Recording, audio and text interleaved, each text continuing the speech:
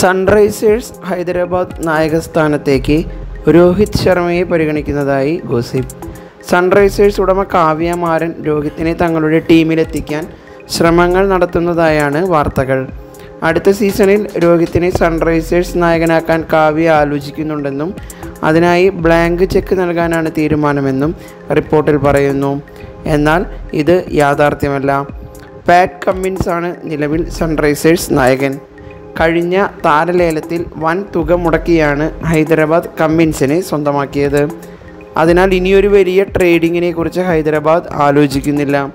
Cummins തന്നെ നായകസ്ഥാനത്ത് തുടരണമെന്നാണ് കാവ്യമാരനും താൽപ്പര്യം അതേസമയം രോഹിത് മുംബൈ ഇന്ത്യൻസ് വിടുമെന്ന കാര്യം ഉറപ്പായിട്ടുണ്ട്.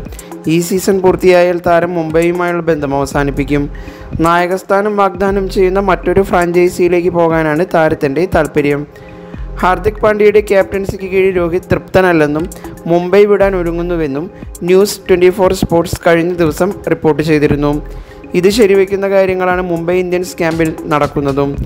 ഡ്രസ്സിംഗ് റൂമിൽ ഗ്രൂപ്പിസം ശക്തമാണെന്നും ഹാർദിക്കിന് കീഴിൽ കളിക്കാൻ രോഹിത്തിന് താല്പര്യമില്ലെന്നും ഒരു മുംബൈ ഇന്ത്യൻസ് താരം തന്നെ തങ്ങളോട് തുറന്നു പറഞ്ഞതായാണ് ന്യൂസ് ട്വന്റി ഫോർ സ്പോർട്സിന്റെ റിപ്പോർട്ടിൽ പറയുന്നത്. ഹാർദിക്കിനെ പിന്തുണച്ച് ഒരു വാർത്താ സമ്മേളനം നടത്താൻ ടീം മാനേജ്മെന്റ് ആവശ്യപ്പെട്ടെങ്കിലും രോഹിത് അതിന് തയ്യാറായിട്ടില്ല. ഇതെല്ലാം ചേർത്ത് വായിക്കുമ്പോൾ രോഹിത്തിന് ഫ്രാഞ്ചൈസിയിൽ തുടരാൻ താല്പര്യമില്ലെന്നത് വ്യക്തമാണെന്ന് ആരാധകരും വിലയിരുത്തുന്നു.